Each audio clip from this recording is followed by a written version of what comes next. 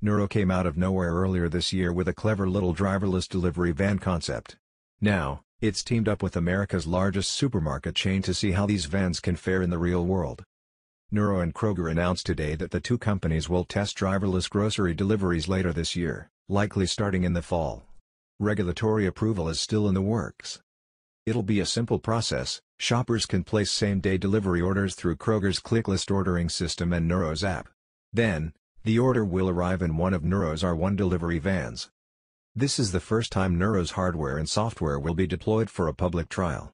First appearing in January, the R1 is an electric driverless vehicle that weighs less than a ton and is designed with maximum cargo space in mind. Never mind the windshield up front, that's basically an aesthetic decision to make the vehicle seem at least somewhat familiar. As of January, the company raised $92 million in venture capital across two funding rounds.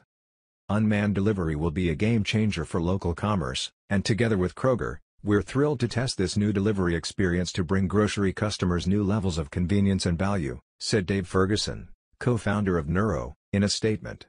Our safe, reliable, and affordable service, combined with Kroger's ubiquitous brand, is a powerful first step in our mission to accelerate the benefits of robotics for everyday life. Amazon is definitely playing a part in Kroger's decision. After the company purchased Whole Foods, it started and subsequently expanded its two-hour grocery delivery service for Prime members.